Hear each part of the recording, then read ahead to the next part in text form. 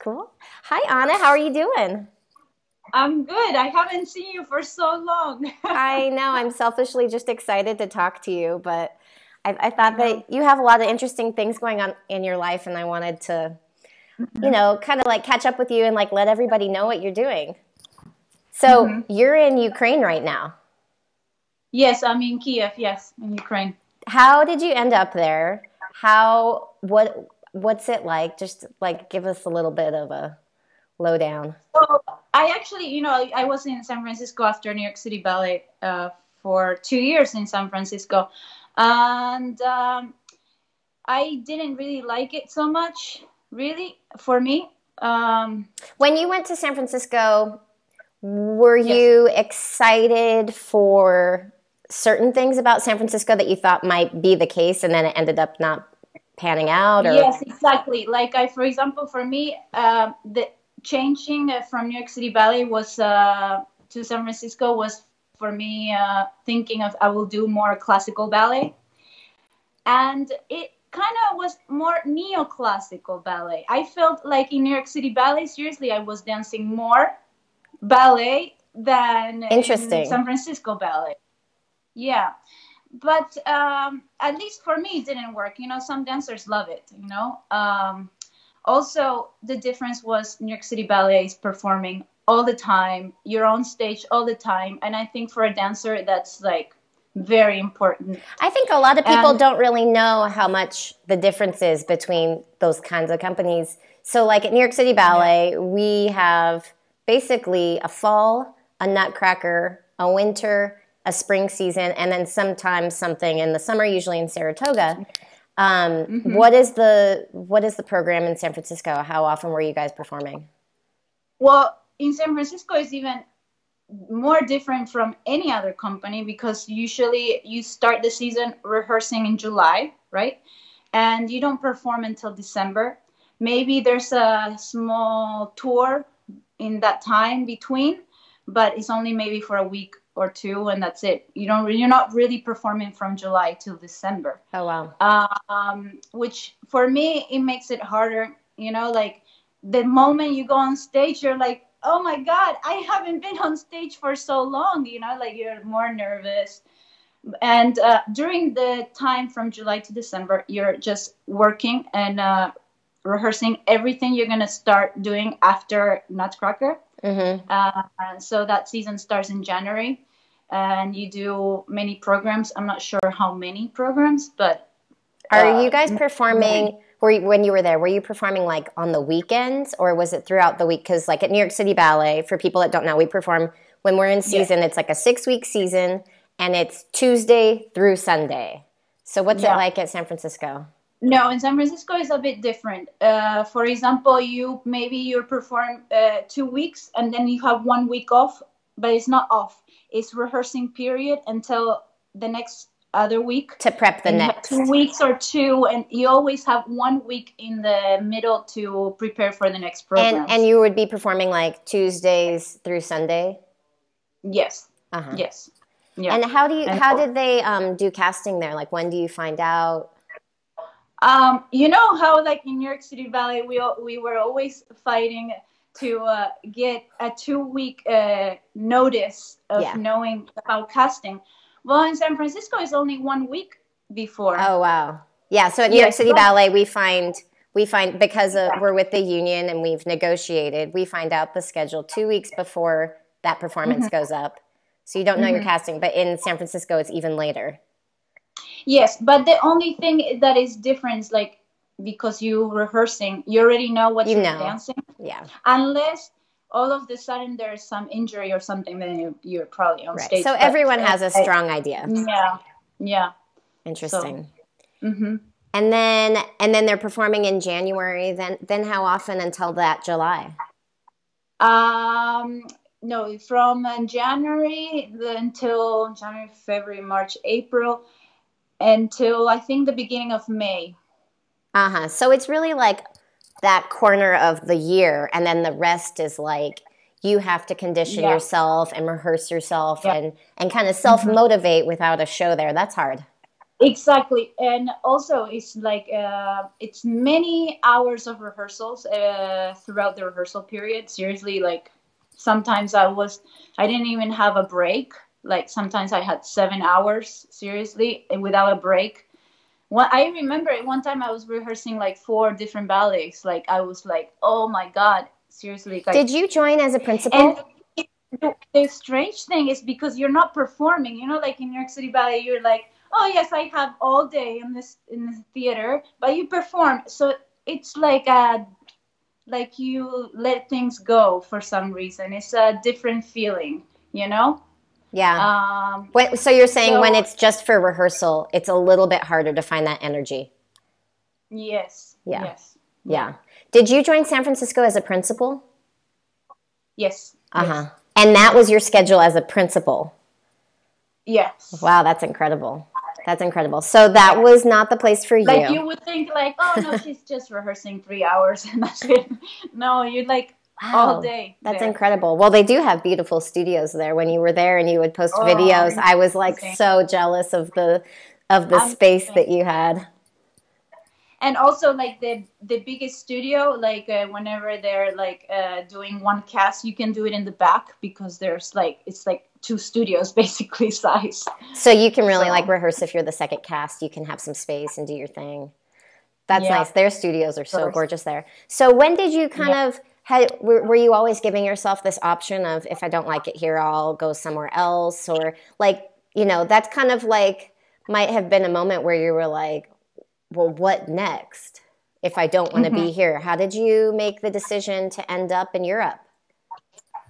Um, well, I knew for sure I wanted to leave San Francisco. Um, I during the time in San Francisco, I the last season I actually got injured before I had to perform. You know, before Nutcracker started, I got injured, and I hurt my calf. And then trying to come back as soon as possible, I right. hurt the other one, and it was like this because yeah. I was trying to come back so much faster than I should and, Which I think uh, is kind of the case when you feel like all of the performing is centered in one part of the year. If you happen to be injured yeah. for that part of the year, and then maybe you get better by the time July rolls around and there's no show to happen, yeah. like that's that is the hard thing about that kind of schedule. Yeah, but I also think uh, sometimes. Uh, if people don't know you uh, as a dancer and you're trying to show them you're trying even harder than you your body can really yeah you know yeah there was a certain amount uh, where you uh-huh. had felt like you had to prove yourself still you know like in new york city ballet i was there for many years so right. like if i'm like oh i don't want to do this because you know this is tight or whatever you know the teacher is like oh it's totally fine yeah. but it, when you're new in another company sometimes you have this different uh, pressure totally. so uh, it's a bit harder in that way um, so during that time that I was injured, I was thinking, and um, I also wanted to be able to dance outside, not just in the company. It's something I've always wanted. And during the time in San Francisco, um, they didn't really let me do very important things I wanted to do, like a ga- outside. like a gala. The, yes, not yes, gala. But you know, when you go to a gala, uh, you meet people you know? And from there you meet other person that maybe they want to invite you to do a full length ballet. It's like uh, it's something that's it's all net- connected. Network it's a circle. Networking. Yeah, yeah. and um, i've always wanted to do that and i felt that if i stayed i was not going to do that and i just knew i wanted to leave for sure you know? Right. Uh, i didn't know where but I actually came to Ukraine in Kiev in 2018 to do uh, Swan Lake. Like that was my actually first time doing Swan Lake, and um, I actually really liked it. Um, I liked the city and uh, the teacher I had there and everything. And um, I so I end up coming here, and um, I actually really like it. Um, I don't feel like I have a huge pressure. Like, let's say if I need to take two days off, I like, I take those two days off. I'm not like, oh my god you know and uh, i think my body at uh, 33 i'm 33 right now i think sometimes you just need that time you know you're not like 18 years old that you can just do whatever uh, your body takes longer to recuperate so um, in that case also i really like it. Um, and also when people ask me to go do something i'm like yes i don't even have like of course i ask here because i need the permission but here they let me go you know like it's so did you So go completely by yourself or did you go with a boyfriend or how did you i came with a friend uh, nikolai goroditsky he used to be my boyfriend but uh, not anymore but uh, i came with him here um so it wasn't so like uh, that feels a little lonely. safer yeah Yes, exactly. Um, but um, anyways, here people are very nice to me, and uh, the the guys I also with other partners I uh, rehearse and work with, they're really nice to me and everything. So, so what's the exact Um, I- exact name of the company yes, it's National Ballet of Ukraine.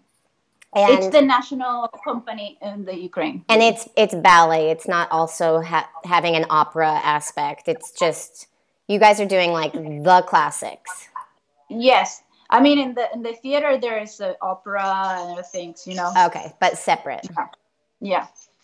Okay. Oh wait, here is.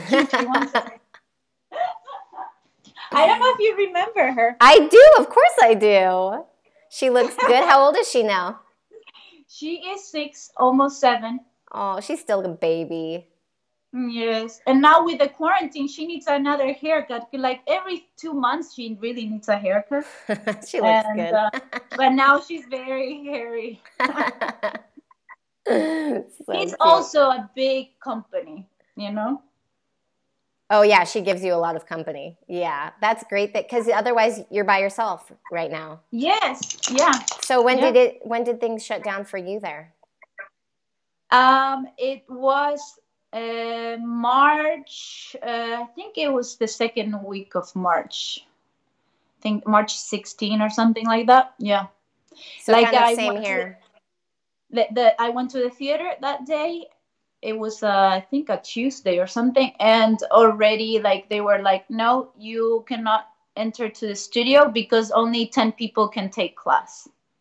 And ten Okay. people were already inside. Yes. And so I that day I actually went down to the stage and I just did a barre there.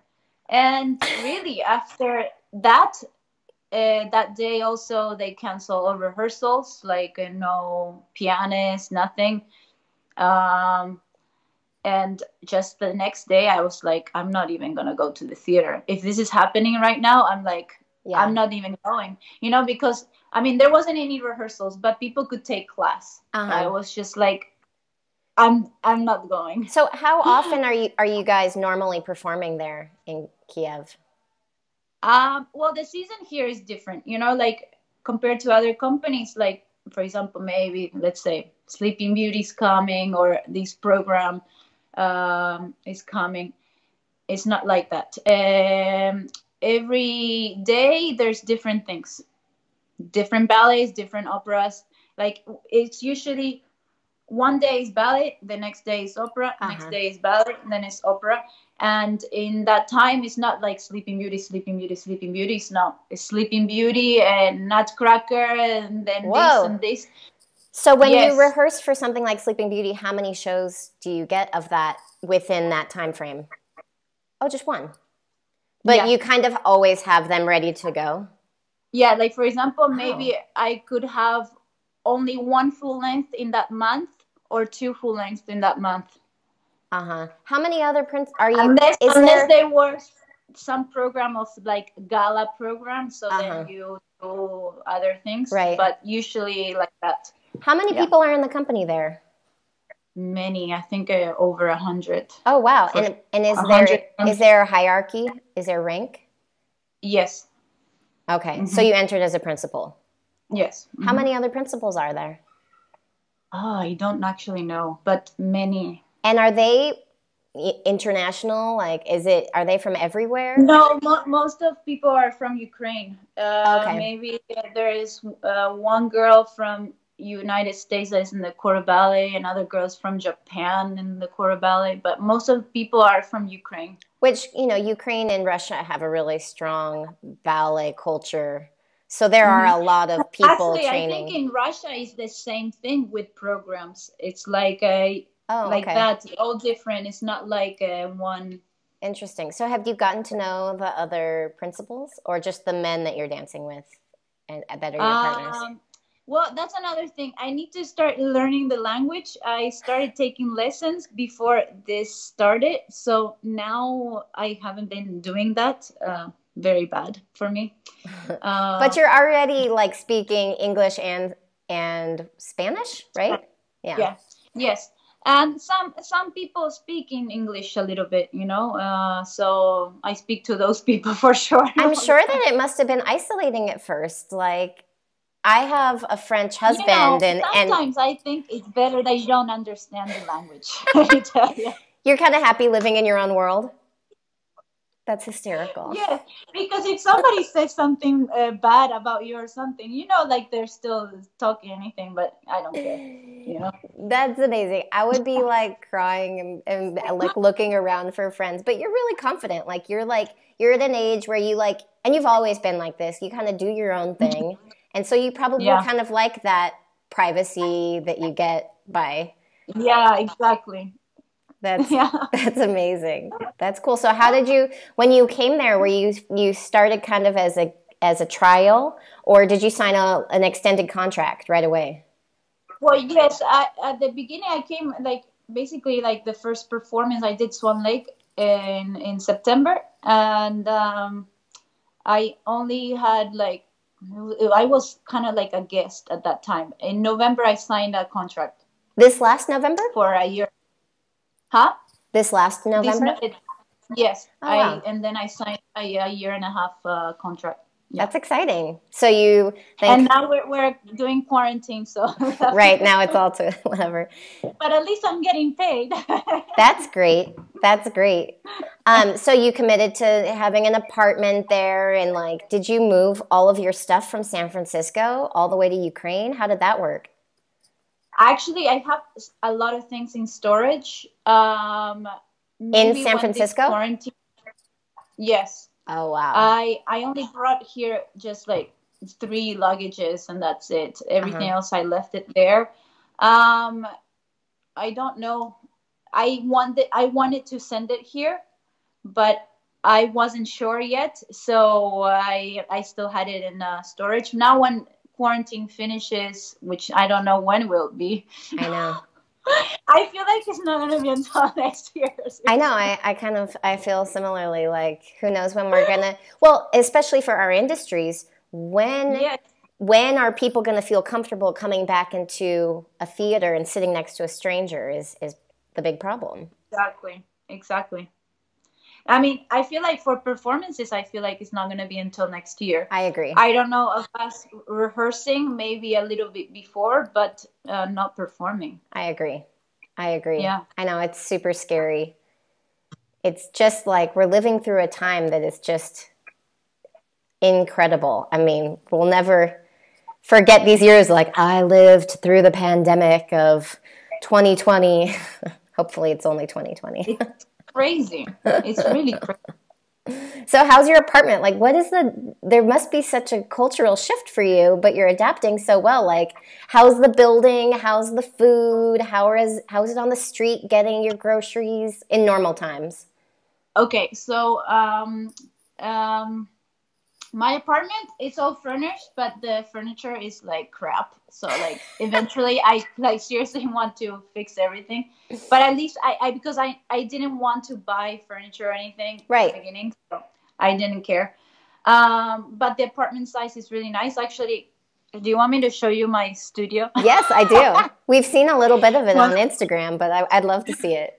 like it's seriously like the living room is kind of big wait so like i have this much of space to do whatever i want That's great. you know? i put a floor, ballet floor. How is it also. to jump though? You know, it depends on what's underneath. Is it cement or? Oh no, I barely do any jumps. Yeah. I do first jump, second, a few changements, some échappés, and that's it. I took a class. I took a class the other day with Olga through Zoom, and we were doing fouette. Uh-huh. She's like, first of all, she's like, put on your pointe shoes, and I'm on a hardwood floor. I was like, I can't do that.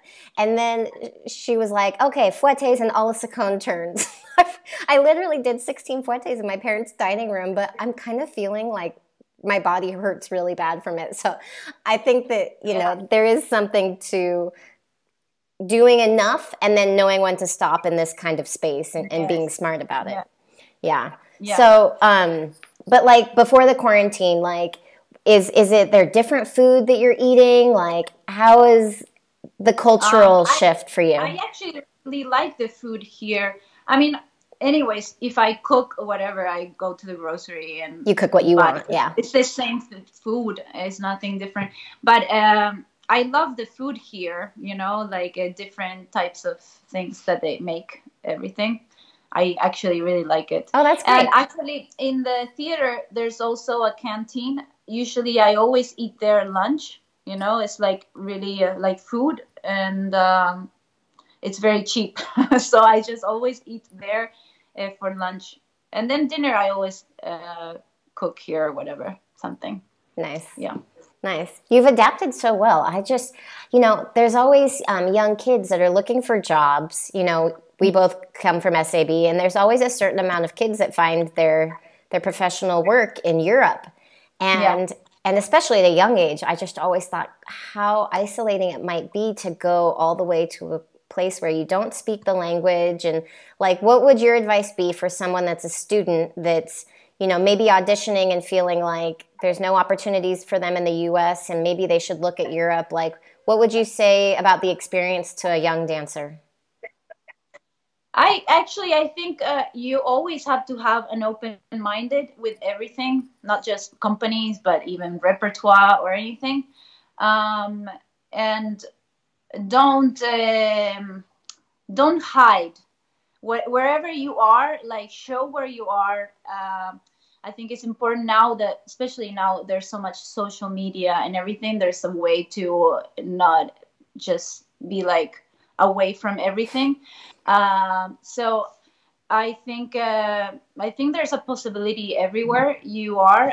It does. I mean, of course, I'm lucky. I was in um, amazing companies like New York City Ballet and San Francisco, and that in a way. Uh, I wouldn't say gave me a name, but like you know, I wasn't uh, starting. But I think there's opportunities to start in any company that you can be. You can still be one of the best dancers still in those companies, and I think uh, you can have a career anywhere. In terms of as, uh, moving away and, and the, the different cultural changes in the language, um, would that be have been scary to you if you had made this um, move when you were like, say, 17 or 18? No, I since I was young, I've always uh, in that way had my uh, open mind. Uh huh. I just I just think if you work hard and work smart, uh, you can have a career anywhere really. That's you know? awesome. Yeah. That's awesome. And and especially through technology now, being far away from family and friends isn't as big of a deal as it used to be. Exactly. I mean, imagine. I remember when I was young and I came to School of American Ballet. We when calling my dad, it was like calling my dad. You know, Yeah. like every maybe four days. Exactly. A week, we call my dad. You know? Exactly. And you had to do it on a calling card. Remember, you had to like push Yeah. fif- 15 numbers. And then it was like, you I have, had like a ten dollar calling yeah. card. And then it's like, you have 25 minutes left when the call would start. That's funny. I mean, it's like so crazy how things have changed. So, exactly. so you mentioned your dad. Tell us about what, uh, when you were growing up, where you're Mm-hmm. from, and how you made it first to New York. Okay, so I was born in Argentina, Buenos Aires, and um, when I was in first grade, I started ballet. Uh, after school, I uh, my mom put me in ballet. She put also my brother in soccer. You have a lot So- of siblings, right? Yes, we're total six kids. And you're the I have youngest. two sisters and three brothers. You're the youngest girl. girl. Yeah, like I'm number five, and I have Uh-huh. a younger brother. And she didn't put any of your older sisters in ballet? Actually, yes, um, they did, but uh, because my parents were traveling and these things, because they moved to Europe at that time or something, they stopped doing it. So my mom always was like kind of thing about ballet, but she didn't know much of it. You know, she she did take ballet classes when she was young, but nothing professional. Did she like to go see ballet performances? And that's kind of where her love or push for you guys came from?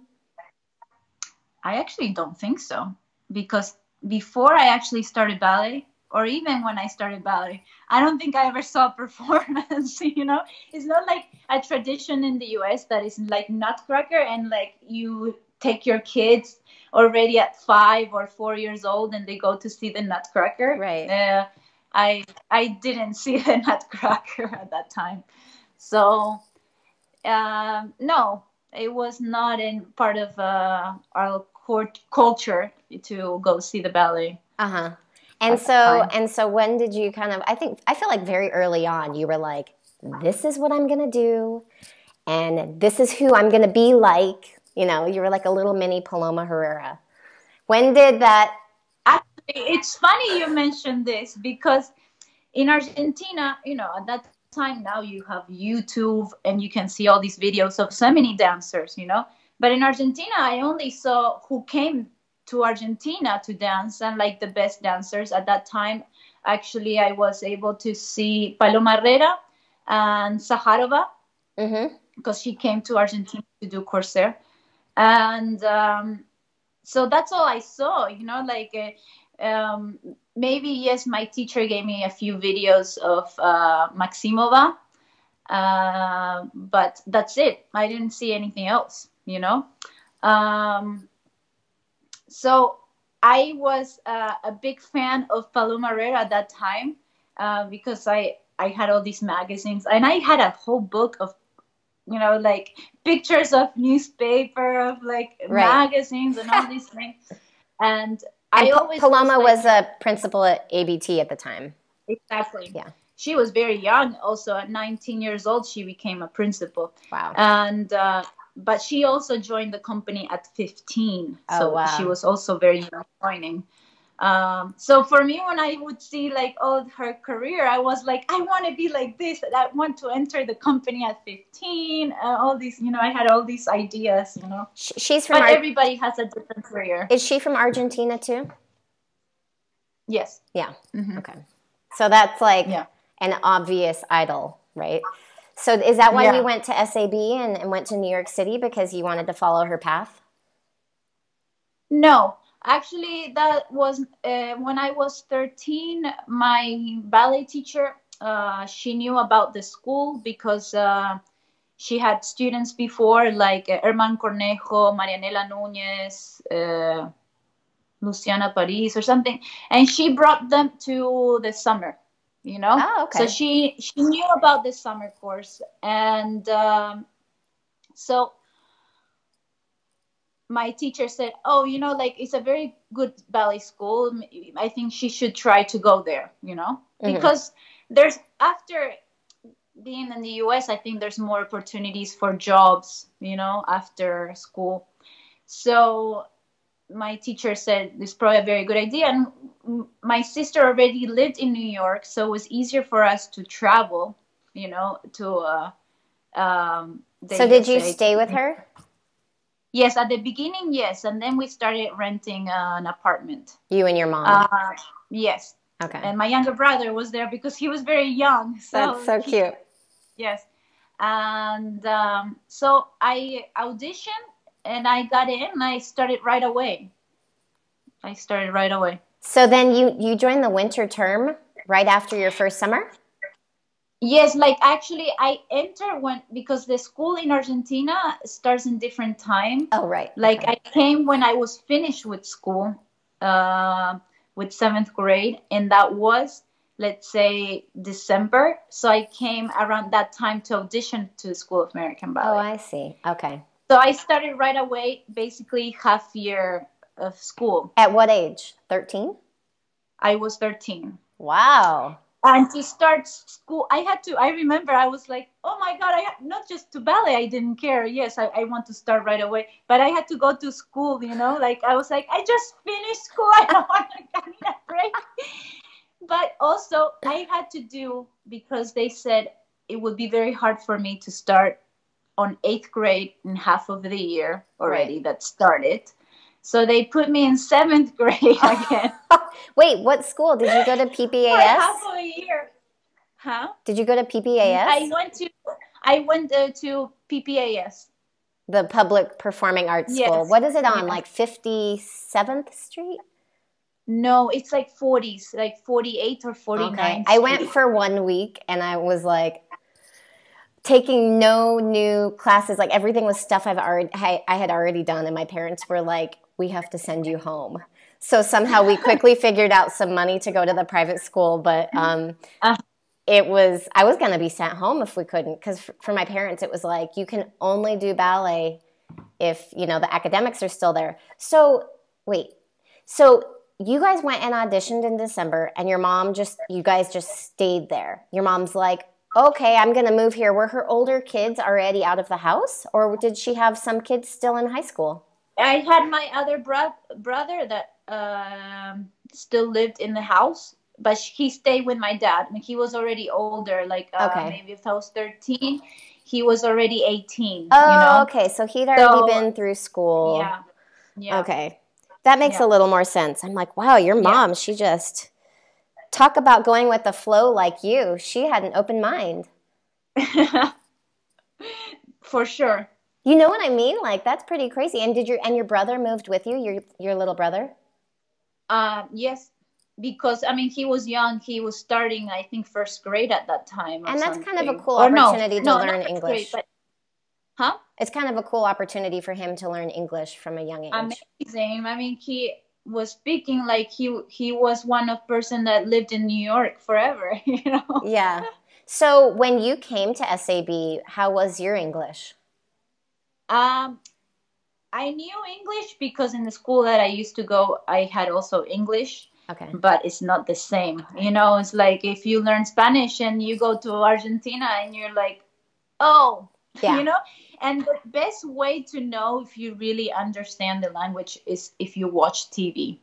That's Uh-huh. when you know that if you start learning, not learning, but if you start understanding everything, you know you now you really know the language really. So did You know? you use TV as a way to kind of improve your English? everything. I mean, maybe watching movies or also um, going to school. Really, Mhm. you know. I had to. I mean, I remember in school when I had to give presentations. I was like, "Oh my god, I'm so nervous." That's crazy. you know? How many years did you go to Because was like, PPAS? all of a sudden, I have to give presentations. It's not like I'm in first grade. You know, like I was like seventh grade, eighth grade. It was um, not that easy. You know. Yeah. Well, um, what was I going to say? How long did you go to PPAS for? The whole time of high school? No, because I think I went for sure two years, 2 Mhm. years, and then I um, did a homeschool hmm from in Spanish from Argentina. Oh, that's kind of a relief.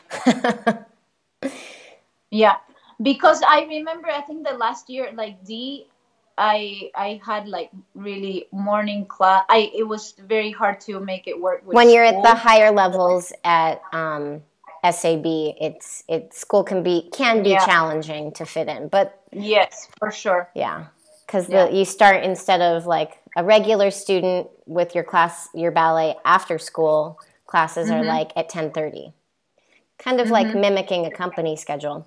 So Yeah. when did you get into New York City Ballet? How old were you? I was 17. So like after SAB, actually I was 16 years old and I joined um, ABT Studio Company, which is the right. small company of young dancers of ABT. But the season for that is only like a few months. It's like six months really that you're really working. So then when I finished ABT Studio Company, I needed a job. so I auditioned for San Francisco Ballet and New York City Ballet, and I got actually both offers, but I went to New York City Ballet, and uh, actually I'm very happy I did. yeah. So like your your real love and has always been of ballet is the classics. So how how did you how did you keep that love going while you were at New York City Ballet and how do you feel about all that time you spent in the Balanchine technique? How how has that made you a different type of classical dancer? Well, first of all, I think uh, one of the reasons uh, I I love the classics is also because since I was very young, I grew up with that, you know, um, in Argentina before I came to uh, SAB. And it really suits uh, your your abilities well too. Like you have a mm-hmm. beautiful port de bras and posture, and you love to like do the kind of tricks that you might find in you know classical ballet. Mm-hmm. You love to do fouettes, and you love to, you know, you know what I mean. It suits you. Thank you. um, I've always had a dream for that. Uh, in, in, in, then in New York City Ballet, um, every time, uh, let's say I had a gala or something, some performance, I've always I always wanted to do the classical ballets, pas de deux, or anything that I could do outside, you know. Uh, so that's how I kind of kept it. But at the same time, I think it's very hard to do it if you don't have that uh, training you know like um, so your training before you came to sab was was very more traditional and classical. Yes yes. But um and that's how i kept it. And my last years in the uh, san francisco ballet i already knew i wanted to do something else. Like let's say maybe the last three years i was in in, uh, in New York City Ballet, I knew that I wanted to do something else. So like I already kind of little by little started, you know, um, trying to change some details of things, arms, and even like I remember because I always kind of like had my arms very much closer to my chest and everything. And then I started little by little more like this, more like this. So are you are you turning more like this now?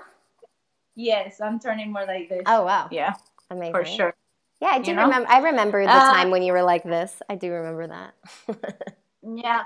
But I think one of the inspirations of turning, I've I was like, you know, when Sofiane Sylve she joined the company, I was like, oh my god. Like I would watch like her footwork and her arms and everything. I was she like, phenomenal. oh my god. so know? how was it being in San Francisco with her? Um, it was great. Um, you know, she's also uh, leaving San Francisco Ballet. She's oh. joining another company in uh, Europe. Oh wow! How old is she now? Um, I think she's 42, uh-huh. if I'm not mistaken. Wow, that's incredible. Yeah, but she, also I think amazing. she's gonna be also teaching. She's also doing other things as well. You know. Um, so when you went to San Francisco, but, were you like, hey, or was she very established there and kind yes, of? Yes, she was like, oh, what are you doing here? That's really cute. Yeah. That's yeah. cute. I mean, that but, kind of thing yeah, when you have I, I, the bonding experience like we all do at New York City Ballet, when you see each other out of context, yeah. you realize how close we kind of all become. Yeah. Yeah but yes i had this when i was going to san francisco i had this dream of like you know classical ballet and more and that and then i was like oh but i feel like in the balanchine i'm dancing more you know? Like when we went with san francisco ballet for the balanchine uh, festival in 2018 uh, i think that was in uh, november if i'm not mistaken it's in city center that we danced. And we did uh Divertimento, number 15. I was doing actually my third part in the ballet. Which one did you do? I did the um, uh, Cis girl. Oh, okay. Yeah. You know, that's funny though, because of course to them, you're incredibly Balanchine because uh-huh. you were in New York City Ballet for so many years, even though when you were in New York City Ballet, you didn't feel like that was exactly your mm-hmm. genre. Yeah. It's funny. You know, Elyse, she's she she actually put everything for us, like uh, the choreography and rehearsed us. Elyse, I Elyse don't know Borne. you know her. right? Elyse Borne. Yeah. Yeah. And yes, and um, she actually loved me, and I loved her back. I like the energy was very different, you know, from well, you guys Um, also have a common history, you know, Mhm. of New York Yeah. City Ballet. I think it's like a special club that you can never Mm-hmm. get out of. yeah. And whenever there was another teacher that didn't know the the, the ballet, I would I would be like, no, it's not like that. like I was like, and I would be like, you know what she's doing is not the right choreography. Anna. it's true though when They- they- when you've seen something true, for so like- long. yeah. Yeah, it's it's And hard not to when- speak whenever up. they will be like, "Oh no, this music," I was like, "No, it's not like that." I have not done this piece, but I watched it many years. It's not like this Good for you. Oh, because I hate doing something wrong, you know, and Yeah. you know that it's not like that. yeah, know? yeah, it's hard. So so being in this company in Ukraine, you probably won't do any Balanchine for a really long time, or maybe ever again. Yes, yes, but I. Too bad. I was gonna go to uh, Mexico with Gonzalo, Oh, and we okay. were gonna do Tchai Pas and uh, Ruby. So, but now it's not happening. Right, right. Didn't you have Yeah. this amazing experience of doing Tchai Pas with Julio Bocca when you were like really, really young? What was that? Yes. Um, yeah, I was uh, 18 years old. Okay. Uh, so I was in the Court Ballet of New York City Ballet at that time. And um, I had this amazing opportunity of dancing with him. I was like, oh my God. Was it back in believe I'm dancing. Argentina? Yes. And uh, actually, it was a tour in different countries. Oh, wow. Like uh, we went to Uruguay, Paraguay, uh, to Spain, um, and Venezuela. And I did Tchai Pas with him and uh, Don Quixote. how did he how did he know of you and, and pick you? Well, I knew I met him actually at Steps, you Okay. know, from Willy Burmann's class. And um, I was just leaning by the barre, you know, and I was right next to him, you know, I was, and uh, he's like, "Oh, what are you doing this summer?" And I said, uh, "Actually, like nothing, you know, because I used to go to Argentina. At that time, we didn't have the fall season at Right. all, Right. you know." So we had like I don't know two months off. It was something, it was like a lot. eleven weeks. Off. It Yeah. was a, eleven weeks off or something. And I was like, no, nothing. I'm just going home to Argentina. And he's like, oh, give me your phone number, and uh, I might have some performances that uh, you can we can dance. And I was like, oh, okay. And then when they called home in Argentina, I was like, my mom was like, oh yes, it was from Julio Bocca that you're gonna have to go over her. And I was like, ah, What an amazing experience. yes. I mean, because yes. at 18, you're not really doing anything in New York City Ballet partnering wise. So then you're Yeah. suddenly like really partnering with this like amazing like legend. And what, were you Yeah. nervous? What, what was it like?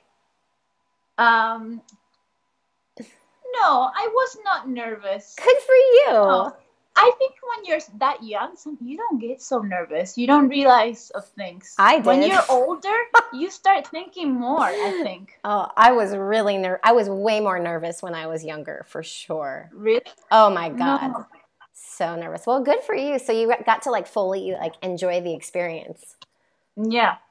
And uh, so when I actually came back from doing that, um, Sean Lavery at that time, our teacher, um, he asked me, "Oh, how was your summer?" And I said, "Oh, I danced with Julio Bocca this summer." He probably didn't believe you. yes. Sorry, it got Yeah, you're back. I see you. Um, yes, and then I said to him, and he's like, "Oh, so what did you dance?" And I said, "Oh, I danced Tchai Pas." And he's like, "Oh, really?" And let me tell you, after that, the ne- that season, I did Tchai Pas for the first time. that is amazing. Who was your partner in yes. Tchai Pas? Uh, it was I it Andy Veyette. Uh huh. Yeah. Cool. Yeah. And then from Uh, there, you know, I We remember. were just gonna we were just gonna do two performances, but at that time, I think uh, Damian Woetzel and uh, Miranda Weese, they had another ballet in that same program. So we end up doing four shows of Amazing. that season, which is a lot for, for It is. any dancer. It is So, even yeah. now. I think people are still like chomping at the bit to get like just one Tchai Pas. Yeah. So, um, Yeah. do you know? I remember right before you got promoted, was it to soloist? Because we had just done all of these pas de quatre in Swan Lake. Remember that? You and Tiler Peck and I did It like was torture. we did like eleven pas de quatre, and then you guys were in Swans too. No, I think it was 14 shows. Yeah, it was something It was insane. two weeks. It was something insane. Like we were like for some reason the only cast that there was. You know they don't do Yeah, and- anymore. They took it out. No? Yeah. Why? I think they just It's Peter- very hard. Pe- Peter. Well, I think Peter decided he wanted to shorten it or something. I don't know exactly why. And I, as doing the Swan Queen, I was like, oh my god, that was my rest. You know, like I need that. But actually, it kind of works Yeah. out better to not have so much time to be sitting on a stool waiting for your fouettes to happen. You know. So, Mm-hmm. but I remember. I think it was after all of these quatre and this crazy run of Swan Lake, you and I got a pedicure at that nail salon that used to be across the street from Lincoln Center, kind of where it's now like New York Sports Club. Or and there's a dry Yes. cleaners there. And Yeah. there used to be a nail salon. That was very convenient. I wish that was still there. Yeah. And we were getting our nails done and you were like really talking about wishing to be promoted and feeling like when is it going to happen and you were feeling very frustrated and you got promoted the next day. Do you remember that? Well, I remember really well because it was very. Why I wanted to be promoted is because with, during Swan Lake, uh, with Tiler Peck, we both were in the corps ballet and also doing this role every performance. So, like, we were doing swans, white swans, which is a lot of standing, Yeah. a lot of standing, and then pas de quatre, Which again for people swans. that people that are, are watching that aren't dancers, yeah. if you're in your pointe shoes and you're in your tights and the whole thing and you're just standing there it is not like just standing in your tennis shoes somewhere waiting in line somewhere like it is like you're turning out you're holding a posture we're standing on like really hard cardboard that's not like Yes. pointe shoes are not made to be stood in so Yeah. so it's really exhausting and, and quite difficult to do those kinds of roles where you're standing a lot Yes. And I remember in some shows, because I was not in the front of the swans, I would like sickle my foot. No, because my tendon hurt like crazy. I was like dying. I mean, 14 shows of this is Yeah. not cool. yeah no know? it's like it's, it's amazing that you guys survived that yeah. I was tired and I- I wasn't doing the core with you guys. I was just tired from doing the pas de quatres. But you guys had all of that. That's incredible. I have to look, I have to find the, the photo. We have a photo of our faces, and we're like, I don't think I have it. You should show me. I have to find it. I'm, I'm sure I had it, but I don't know where it is now. I have to look. So then you got But, promoted yeah. after that because you were like, I better get promoted, otherwise I cannot sustain this type of schedule. Well, I remember, I remember like uh, during uh, some rehearsals in between of the performances, I think I was like just like laying down on the floor, and Susie Hendl, she said, "Oh, come on!" Like she said something. Oh, come on! I like, like if I was like, I don't know how you say it. Um, exaggerating or Yeah. something and i was like oh my god you have no idea i'm not even exaggerating i was almost gonna cry yeah. It's hard to get through those moments. How did Peter promote you? um it um how he promoted ah okay so it's funny this day was very funny so actually tiler goes to uh, speak to um, peter because she actually after so many shows she actually needed some time off because uh, she had something going on with her foot or something. So she goes to speak with him and he is like well you know what? Anyways i was gonna wait until your birthday or something because she was very young. She's like two years younger than me and i was promoted i think eight nine i was 19 So she was 17. I don't know. She was probably still, still 16, and she he was like waiting until I don't know. I don't remember exactly the age, but he was gonna wait for her birthday or something. She, I think, and uh, then he he promotes. But I'm gonna promote you, so don't worry. And na na na. So she already knows this day. Okay. So some people start starts know they know that they promote Tiler or something, and um, then I don't know. People start rumors and na na na na. They're like people already started knowing that I was promoted, right? But I didn't come to class that day. I went to steps. so when I come to the, the theater, like people are all looking at me strange, like very weird. Like people are already like knowing and everything. And then they're like, oh, you know, like uh, they, uh, you have to go speak with Peter and wants to speak with you or something. So that that's how I got promoted. But but it was a it was a rumor around you before it was but actually. Everybody knew except me because I wasn't in the theater that day. That's amazing. And how did you get promoted to principal? Did he do anything special or?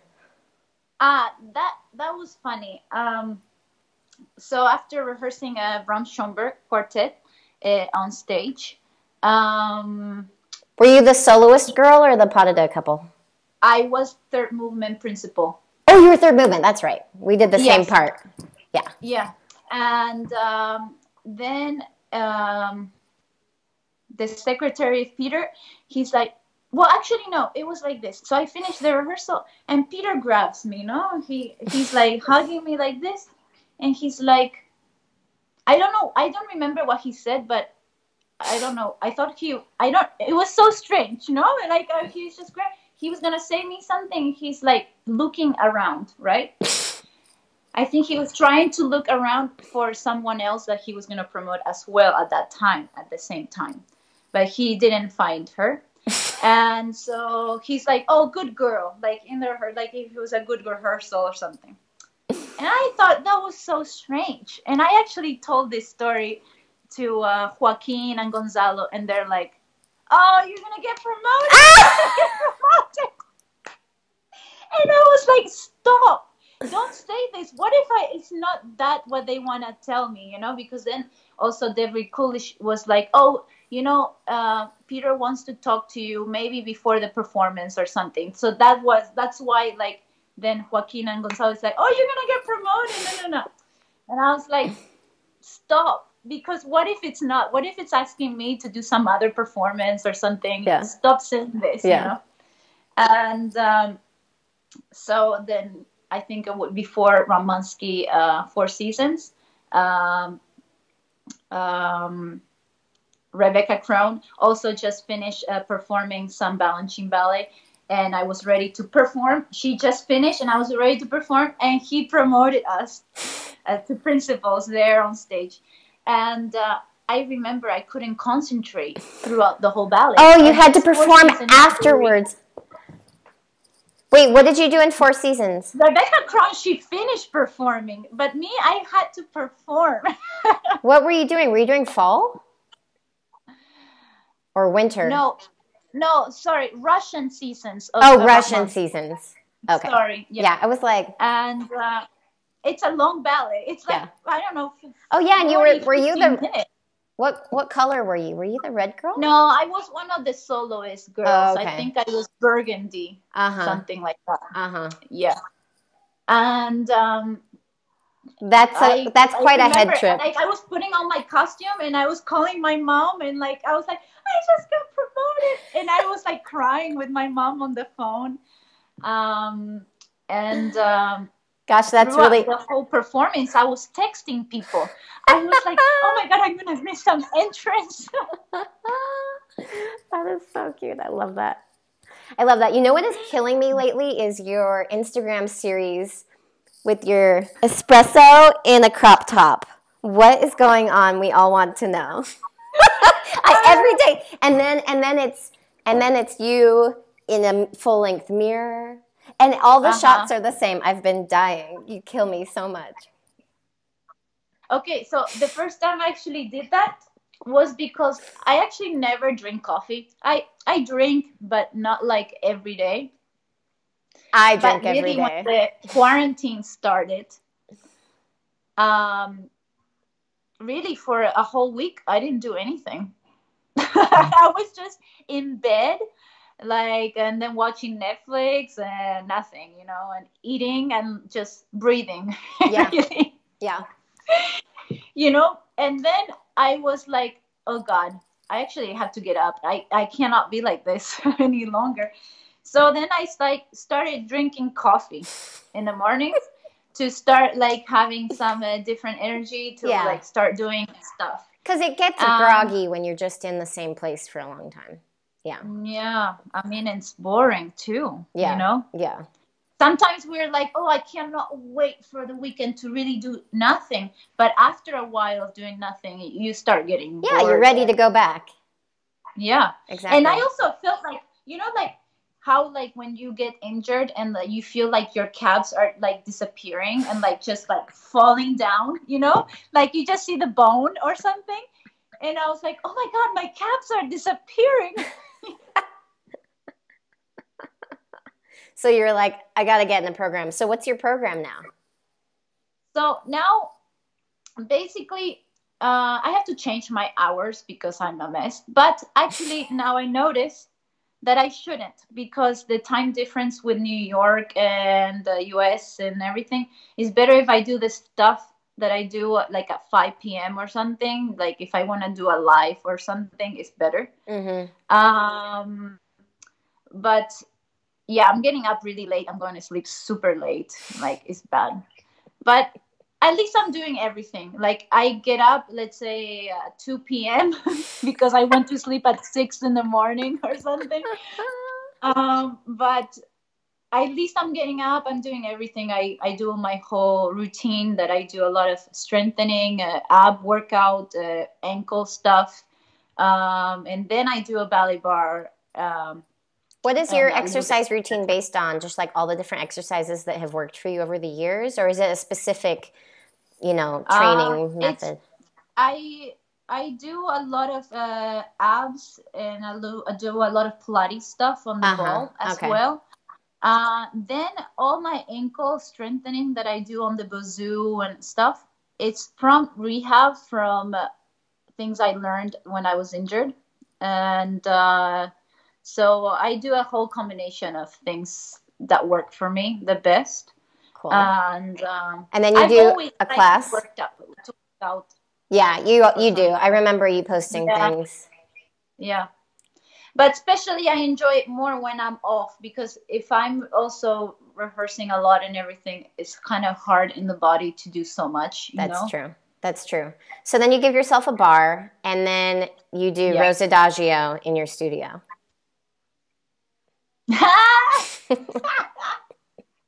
I saw that with a with a broom. this yes, but you know why? Because uh, it was a challenge from Zarelli, Uh huh. you know, uh, this brand of uh, sportswear, and Okay. now they're starting more of ballet st- uh, wear as well.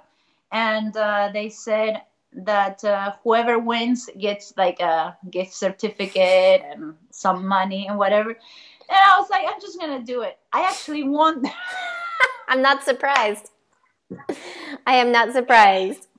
I did it like I I choreographed it only once. Like I was like, oh, I'm gonna do this and here, na na na, and I just did it one time, and that's it. You know, it's not like I did it many times. Yeah, yeah, yeah, yeah. Um, That's fun though I have a Um, challenge like that. yeah. Um, and it, I think it was fun. And then I actually did another video like that of, of Don Q. I did the whole Don Q by myself. It was a disaster. I did a lot of photographs, that's for sure. That's really cute. I love that. And now I'm missing to do de deux, you know. I'm Yeah. missing to do Yeah, but you're figuring it out. I mean, myself. it's it's nice to to test yourself and figure it out. Just holding on to something, you know, Yeah. it still gives you a lot. You're, I have to say, you're doing a really amazing job about keeping going. Um, all, all I think about though is like, oh my god, the stamina is gonna be so bad. I know, but you know what? I think that we'll start back in a way where we have some time to actually be in real studios before we're back and you know we've Oh, all been sure. having our breaks I, i've never been really injured but i've taken some breaks away from ballet and you've taken some breaks away and you know that Yeah. like you can get back so it's okay Mhm. you you did this amazing Yeah. post on instagram about your sister and i did not realize her status how is she doing Yeah. and you know i just want to mention it because i think there must be some young kids out there who have some type of family circumstance or tragedy in their life. And how do you dance through that and dance past that? I think it's really inspiring. Um it's it's hard because i mean i already went through with my parents. My mom uh, had uh, cancer as well and she passed away and then my dad passed away two years after. Um i think just just um, through that how did you how did you deal with that? Because i was with you when you when that happened and you powered through. I in a way that i don't think everyone would be capable of. I mean you lost both of your parents in a very short amount of time and you were very close with your mom. And you probably Yes. didn't spend that much time with your dad as much as you would have liked to before he passed away. So like i just i think it, you just have done so well. How did you do it? Um, well, when my mom passed away, actually a few that was in October in October 2013. yeah it was a long time ago And let me tell you, I actually had a major injury two months after. i remember that now And um, I don't know why I had this major injury. Uh, I already started having a pain uh, in my bunion because that's my injury I had for a year and three months. I was out, completely out, not being able to dance. Um, so, I mean, I did my best through that.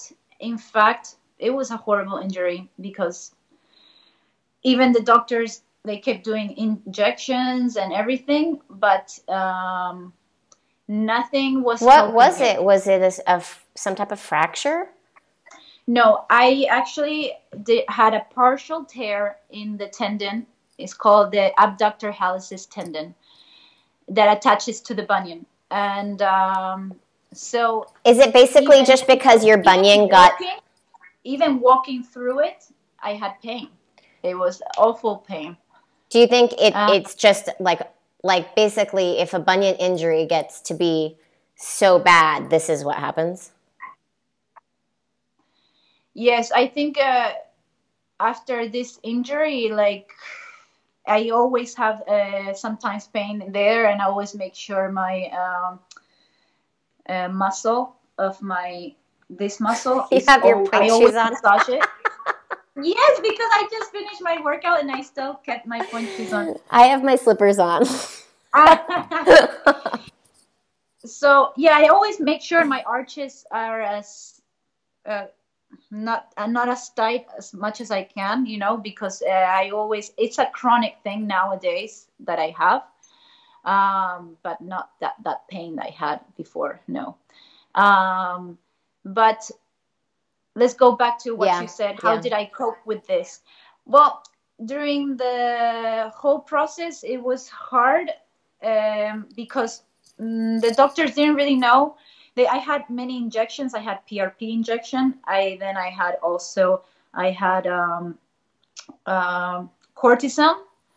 Um, I had like three PRPs, no, two PRPs, one cortisone, and at one point, after seven, six months or seven months of the injury, uh, they were like, "Oh, maybe you should do another uh, PRP," and I was like, you know, yeah. I was like, I'm not doing another PRP. And I, at that point, I was actually not doing very well emotionally uh, because of the injury. Of course, yeah, my mom passed away, but that was uh, on the other side. Mhm. At this point, I wanted to be back with ballet, you know. And uh, I remember going to uh, a gala of New York City Ballet, which I didn't even want to go see ballet because for me it was in a way depressing Yeah. because I I couldn't do it, you know. Right. Um, but I went to the gala, and then many people were asking, "Oh my God, I haven't seen you. How are you?" And the "How are you?" was actually that night destroyed me completely. I was home and I was like in tears, crying, and um, that's when when seriously when I cry, I have sometimes maybe the best ideas. so I think people, if you feel like you need to cry, I think people need to cry. Let it out because uh, from yeah from crying, I think you uh, come out with a way of uh, helping yourself to not feel this way. Um, and I thought of going home. I was like, I'm gonna go home. I was gonna go for two weeks to visit my dad, and um, I end up staying there two months.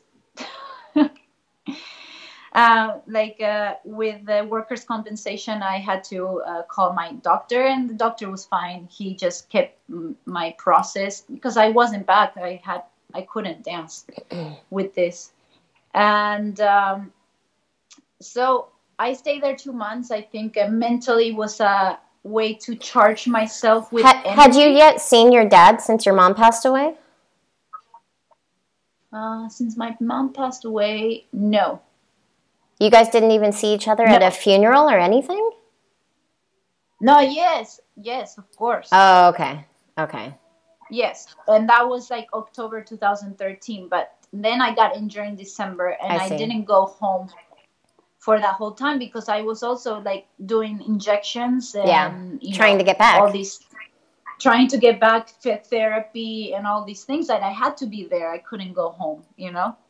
Um, so after two months in in Argentina, I came back, still was with pain, um, but slowly I started going to the studio, and at that time, uh, Nikolai, who was my boyfriend, I he was helping me to do deux and everything. Little by little, I started doing more, and so I was back for a spring season of 2015. Wow.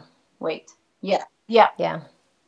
Of 2015 of course i spoke with the director and i told him at that time i couldn't dance everything because i couldn't do big jumps for mm. yet you know so actually i did some hard things for my first performance i did a uh, Four Temperament um sanguinic sanguinic you know, like, which is crazy hard. And you have to do those gargouillades yes. I came to do that. Also i did symphony in c first movement. Um, so you're back. what else? Yeah, and they actually wanted me to do a flower festival, and I was starting little by little, and I was like, mm, I'm not doing this. Yeah. It's a lot of jumps. It's a ton it's of jumps. Happening. Yeah. yeah. yeah. So how was I it? I had to take myself out. So, so do you feel like the injury was this process of taking a step back from life and, and processing you know the loss of your mom or or was it more of a challenge was that something that was necessary or was well, that something that like, was super difficult some people some some people were saying oh you know i'm sure this kind of happened because of your mom and i was just like god this is not you know? I'm really trying my best to be back right. like right. and like i'm one person that i'm really like i'm really positive really. I'm very hard worker um, so i never saw it as one of the, those kind of things. But maybe i did need that time you know? Um, but it was suffering time. It was not fun. Right. Right. And you, you were alone uh, right? Like you were your mom was your housemate wasn't she? Or at that point she didn't live with you? I was alone, but at that time that I also got injured, I kind of wanted to be alone. I didn't want anybody. Yeah. I just like even if it was family, uh, maybe once a week I would see my sister, but because for me it was like I needed my time. Mm-hmm. you and, know. And then um, your dad passing away was a sudden thing, and you danced through that. Yes, I did dance through that. And in fact, my dad passed away, and I had to do a gala a week after in Argentina. In Argentina, wow. Yeah. Um, that was uh, a big loss for me because I didn't, I didn't have my mom anymore. Um, so yes, it was hard. But, but now so many years passed away, I feel like we with my siblings we're very close, even closer than we used to be because of this. Um, so of course i always think about like let's say some moment in my life like let's say performing um, here or going to when i went to recently in, in january to italy uh, i would love my parents to just come you know because they're fun moments you know that in your life that you just like to share this with your parents you know? You're so um, strong and sometimes i wish i were around you're huh? so you're so strong. I just remember when your dad passed away, looking at you at work, and like I just didn't know how you did it. Man, you are a very yeah. resilient person, and I know how close and important your family was. It, it's not a matter of how much you know you weren't connected to them. Like you were incredibly close to them, and and you just dealt with it with, with such grace. You know, I've seen mm-hmm. other people deal with those mm-hmm. moments, and you can people can really, really struggle to just function normally. And, and somehow you've really always just powered on. And I'm just keeping your sister in my thoughts now. And how's she, how's she coping? When was the last time you got to see her in person? Um, I went in uh, Christmas and New Year's.